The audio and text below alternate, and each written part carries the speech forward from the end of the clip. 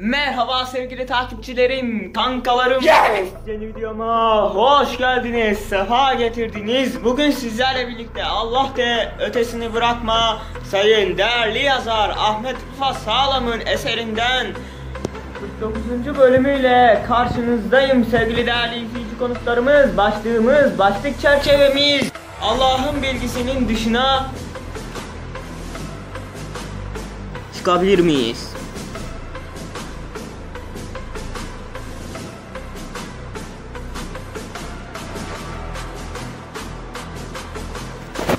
Bilmek, belirlemek anlamına gelmez.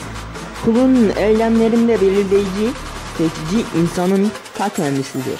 Allah ezel makamından kulun neyi yaptığını, neyi seçtiğini görmüş ve bilmiştir. Dolayısıyla Allah'ın bilgisi değişmez. Eğer değişseydi Allah geleceği görememiş olurdu. Allah'ın bilgisinin dışına çıkabilir miyiz demek üçgen yuvarlak mıdır? Paradoksuna benzeyen abes bir sorudur. Çünkü Allah bilgisinde yanılmaz. Yanılıyorsa Allah olmaz.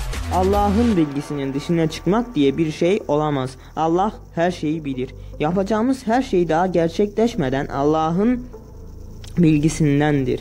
Biz gerçekleştirmeden önce eylemlerimizi ve Allah'ın bilgisinde neyin olduğunu bilemeyiz. Şu andan itibaren ne yapacaksak demek ki Allah'ın bilgisine kayıtlı olan kayıtlı olan odur. Bu yüzden kula düşen özgür iradesiyle hareket ettiğini bilmek, her ne yapacaksa Allah'ın bilgisinde olan şeyin o olduğunu kavramak, iyi ve güzel işler yapmak olmalıdır. Bizim ne yapıp edeceğimiz kendimize bile henüz belli değilken Allah'a bellidir ve ezel makamından Allah bütün hareketlerimizi görmüş, bilmiştir. Allah bu bilgisini kayıt altına almış, görevli meleklere levh-i mahfuza yazdırmıştır. Allah kulun ne yapacağını, hangi eylemlerde bulunacağını neden yazdırmış ya da buna ne gerek vardı diye düşünebilirsin. Bu sorunun cevabı birkaç açıdan verilebilir. O yaptığından sual olunmayandır.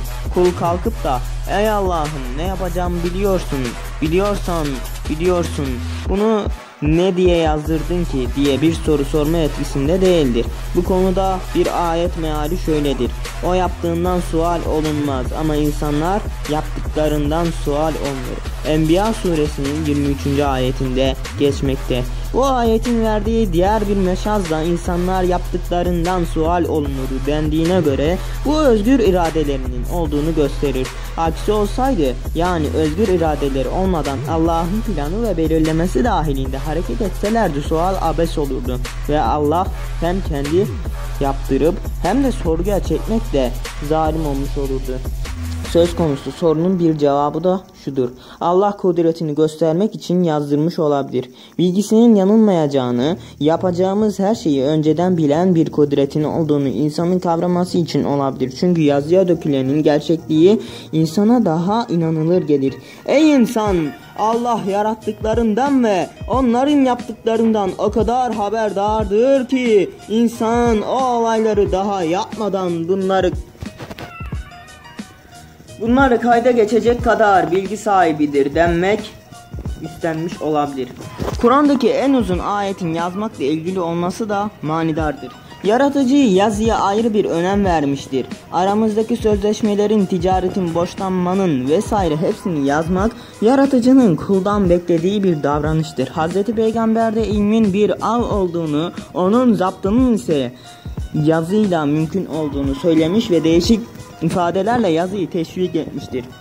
Kulun yapacağı her hareketi bilen yaratıcı bu bilgisini yazıya çevirmekle, geçirmekle belki de ben bile ilmi hudutsuz ve sonsuz olan bir kudret olarak sizin hakkınızdaki bilgilerimi yazıya geçirmişsem siz de yazının önemini kavrayın demek istemiş olabilir. Bütün bu söylediğimiz ihtiyaç bütün bu söylediğimiz ihtimaller Allah'ın kendi bilgisini yazıya getirmesindeki hikmeti anlamaya yöneliktir. Aslında bu sorunun en güzel cevabı daha önce de belirttiğim gibi şu ayettir. O yaptığından sual olunmaz ama insanlar yaptıklarından sual olunur. Enbiya suresinin 23. ayetinde geçmekte. Son olarak yazıya geçirmek ya da geçirmemek kader konusunu etkilemez. Allah bilgisini yazıya geçirmeye de bilirdi. Ama kader konusu gene varlığını korurdu. Çünkü kader konusu yapacaklarımızın yazıya geçirilmesiyle ilgili değil, Allah'ın onları bilmesiyle ilgilidir.